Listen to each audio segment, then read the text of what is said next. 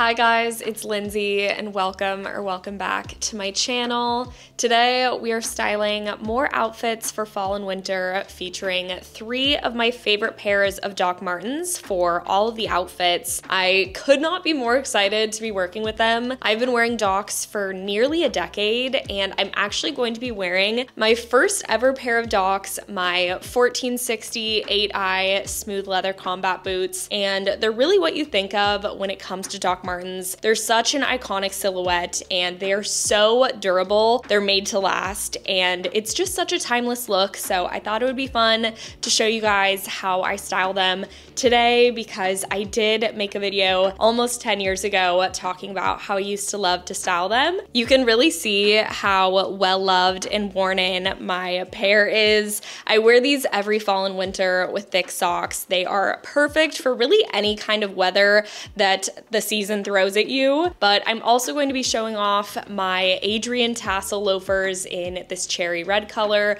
which just add so much personality and edge to any outfit. They're also super comfortable. I got them last fall and it just took one season to break them in. And the 1461 Bex Oxfords, which are a really classic lace up Oxford that I've had for at least four years and they are still just as comfortable and cute as day one. Now to get on to the outfits, I have styled three looks for each shoe so you can get a range of how I would style them along with more fall outfit inspo. For my first outfit, styling the 1460s, I am wearing some low slung wide leg jeans with a knit long sleeve sweater. In the fall and winter, I feel like a cable knit or waffle long sleeve is a great way to add just a little bit more interest as opposed to a plain t-shirt or a really like smooth sweater. So I love the texture there and this little skinny belt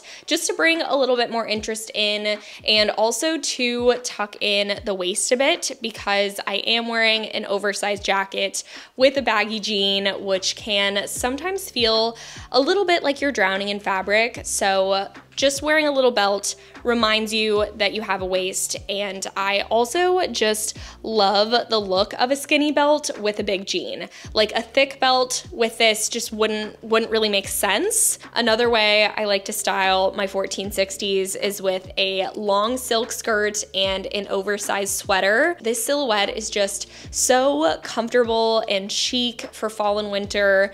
And if you live somewhere a lot colder than I do, you could always do a fleece line tight under this or add on a pea coat or a trench coat. I think it's so cute the way that the skirt just grazes the top of my docs.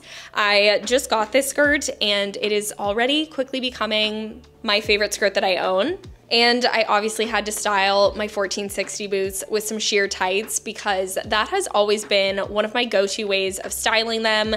But instead of just throwing on a sheer black tight like I always do, I am wearing sheer burgundy tights. And I feel like burgundy is always in in the fall. It's, it's a staple, but wearing it in a tight is something new and fresh that I am just, I'm in love with. And then I have on this very large sleeve sleeved turtleneck sweater dress, which has a lot of volume. And so I think wearing tights and a tight boot around the ankle looks really good with it. I also tend to put my hair up when I have such large turtlenecks on, which is partially just like a sensory thing. Next, I'm going to be styling three outfits with the tasseled Adrian loafers from Doc Martens. These are in a very similar burgundy wine color to my tights. So I actually wanted to throw them on with this outfit just to show you what they looked like together because I think it'd be really cute. I love that. I just switched around some of the outfits on my rack so I could wear these sheer tights again with the burgundy shoes because it is just like a celebration of burgundy and I love it. I also love wearing my summer mini dresses with tights in the fall and throwing on a nice big oversized blazer. My blazer is vintage and it actually has tiny red lines in the plaid so it really perfectly goes with the tights and when you button it up it kind of looks like a blazer dress which I also think is very charming. For this next look, I wanted to lean into the preppy look of these tassel loafers by wearing a sweater vest. And I feel like a sweater vest can be done right with a oversized jean. So it's feeling very modern. It's not feeling stuffy.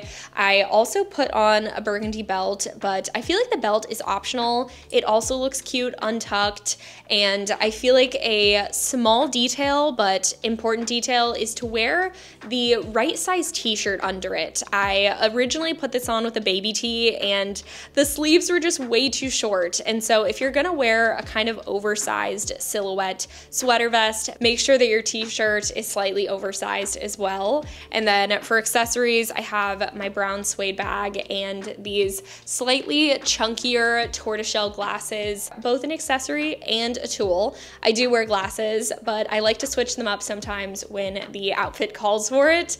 And I feel like they, they really go with this look. And for another option, styling the Adrian loafers that is not jeans, I am wearing these gorgeous silk drawstring pants. And I feel like this is the fall equivalent of my linen drawstring pants that I wear all spring and summer. I'll even wear my linen pants in the fall with a sweater, but I wanted to do something different today. So I'm wearing these gorgeous silky brown pants with a fuzzy cardigan sweater and a little white baby tee. It actually feels like I'm wearing pajamas, but the materials make it look really elevated along with the loafers, which are always my go-to when I want to make an outfit look more put together is to throw on a loafer. Now for a few looks with the Doc Martens Bex Oxford, which is such a fun shoe because from the top, it looks like the 1460 combat boot, but from the side, they're obviously a pair of lace-up Oxfords, and they're really fun to wear because you can do a pop of color sock or just wear them like I am with some trousers. These were my go-to shoes when I was working in an office because not only are they put together and polished, but they offer just that little bit of edge because of the yellow stitching. You know they're Doc Martens, and so that's why I wanted my first look with these to be office appropriate and something that I think anyone could wear into the office or in your day-to-day -day life if you just like feeling a little bit more put together. I'm wearing some mid-rise trousers and a polo, which I think polos are about to have their moment and this is how I would style it for a bit more of a put together occasion. The next two outfits are definitely more casual. I just had to style the suede jacket one more time. And this is one of, oh, where is that sun coming from? Sorry. We are having a sunspot on the floor. Please excuse any sunshine. I am wearing a black tight mock neck with a little wool mini skirt and this has to be one of my favorite outfit formulas in the fall and winter. This would also be really cute with my burgundy tights but I did already tear them with my nails so I won't be putting them on again today. And the last outfit in today's video is what I am gonna wear for the rest of the day. And that is just some vintage Levi's, this slimmer cut sweater, my burgundy belt, and the 1461 Bex Oxfords. This is just a very classic me outfit. And sometimes I feel like this could be too boring to even include in the video, but it is realistic and and also super easy to recreate at home, which is always important to me with these videos, and that you can mix and match truly all of these pieces over and over again. So if you're interested in any of the shoes that I featured in this video, I will have them linked in the description. Thank you so much to Doc Martens for sponsoring today's video, and I will see you with some new styling content very soon. Here's a little goodbye from Sammy too. She's been watching from the sidelines today. She's a sleepy girl.